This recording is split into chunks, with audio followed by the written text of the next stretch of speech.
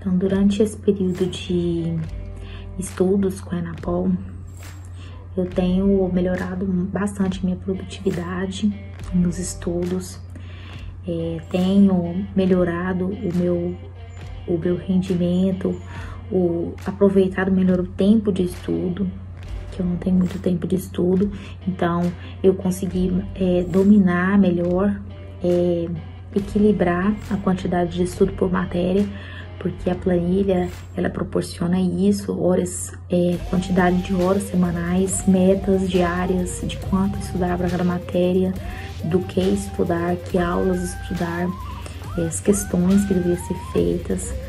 É, tudo isso proporcionou é, uma disciplina melhor para meus estudos que eu estava precisando.